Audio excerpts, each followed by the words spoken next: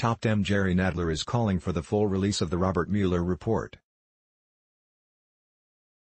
The Week reported that the House Judiciary Committee is expected to approve a raft of subpoenas on Wednesday, most notably a demand that Attorney General William Barr turn over a full, unredacted version of Special Counsel Robert Mueller's report on Russian election interference and President Trump's campaign, plus underlying documentation. Democrats hold a seven-seat majority on the panel, and the vote is expected to hew closely to party lines. If Committee Chair Jerrold Nadler, DNY, issues the subpoena and Barr ignores it, the Judiciary Committee could hold him in contempt, setting up a potentially lengthy court battle. Barr missed an April 2 deadline to turn over the roughly 400-page report.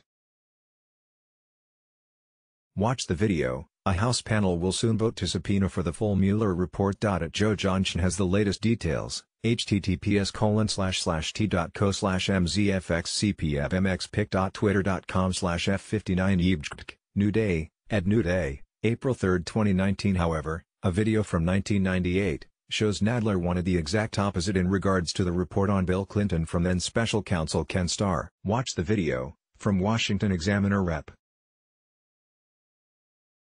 Jerrold Nadler, DNY, chairman of the House Judiciary Committee, is the leading Democrat demanding the release of the Mueller report in its entirety without redactions. His committee is planning to subpoena the Justice Department for the full report. But back in 1998, as a member of the same committee, he vociferously opposed the release of the full Starr report, saying that as a matter of decency and protecting people's privacy rights, people who may be totally innocent third parties, what must not be released at all. Then, the president was Bill Clinton, now, it is a Republican, Donald Trump. Ken Starr, the independent counsel investigating then-President Bill Clinton, delivered his report to Congress on September 9, 1998. That night, Nadler went on Charlie Rose's show to push back against the Republican demand that the voluminous report should be made public. It's grand jury material. It represents statements which may or may not be true by various witnesses, Nadler said. Salacious material. All kinds of material that it would be unfair to release. What Nadler, 71, said in 1998 echoes what Attorney General William Barr told Congress last week. Barr, 68, wrote that he might redact grand jury testimony, information related to ongoing investigations, sensitive or classified information, and information that would unduly infringe on the personal privacy and reputational interests of peripheral third parties from the report that he provides to Congress and the public.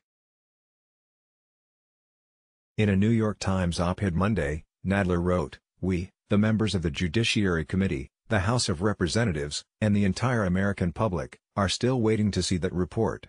We have an obligation to read the full report, and the Department of Justice has an obligation to provide it, in its entirely, without delay.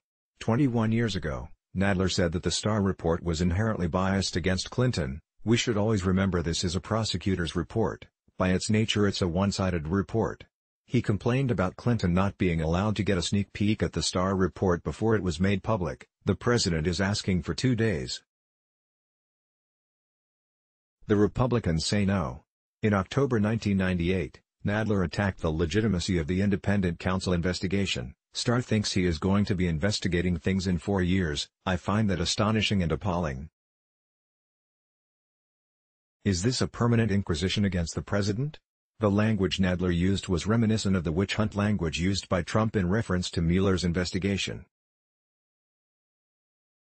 In a February 1999 article in the New York Times, Nadler called the Starr report and impeachment efforts by Republicans a partisan coup d'etat.